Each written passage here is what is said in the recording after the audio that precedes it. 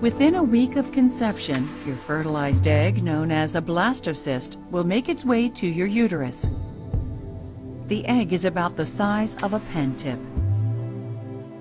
In days, the cells in the egg arrange themselves into groupings. The inner cell mass will become your baby. The outer cells will become the amniotic sac and placenta.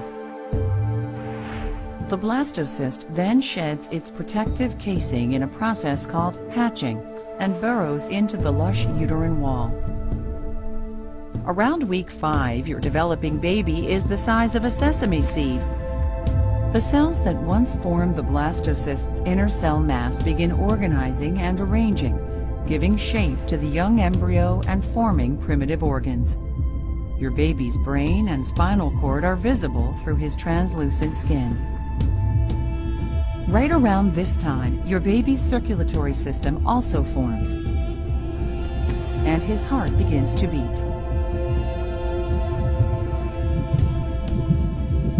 Your baby looks more like a tiny tadpole than a human. He's drawing nutrients and oxygen through the newly formed placenta and umbilical cord. By week 9, the embryonic tail is gone. Your baby's looking more human every day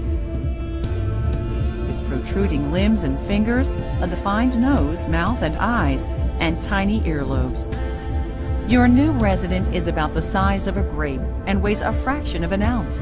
It's hard to believe how rapidly one cell evolves in such a short time into the unmistakable body of a baby.